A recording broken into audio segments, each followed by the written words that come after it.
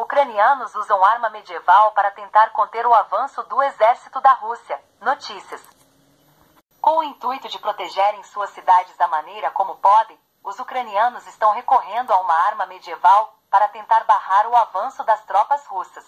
Os caltrops, estrepes em português, são feitos com pontas de ferro afiadas e estão sendo usados para conter os veículos militares.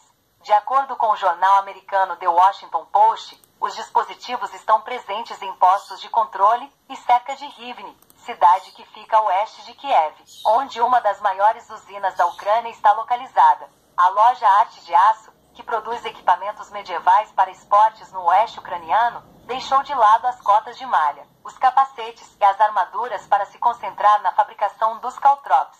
Os ferreiros fizeram centenas de unidades nas últimas semanas. A Arte de Aço postou um vídeo do material em sua conta no Instagram.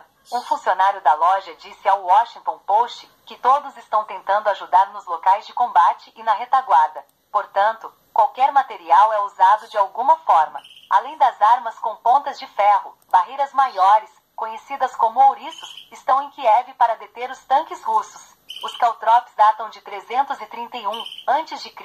e no começo eram apenas uma esfera com quatro pontas afiadas. Entre outras utilidades, os dispositivos serviam para deter combatente e cavalo.